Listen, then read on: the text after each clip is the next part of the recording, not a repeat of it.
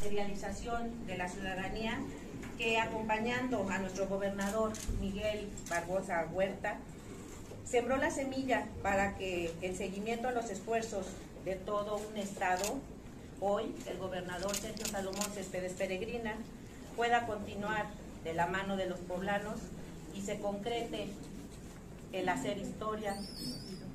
Gracias. Se concrete el hacer historia y el hacer futuro.